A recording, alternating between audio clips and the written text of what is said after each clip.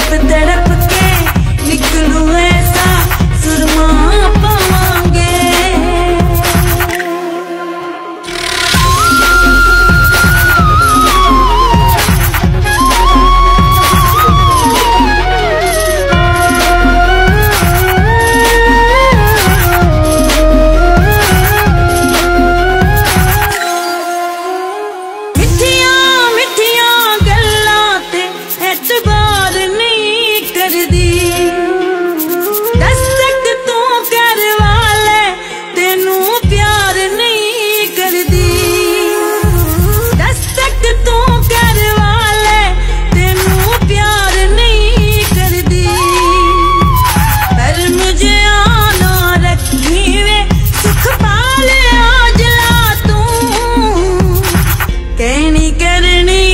वाली अपनी हिंद पुगावा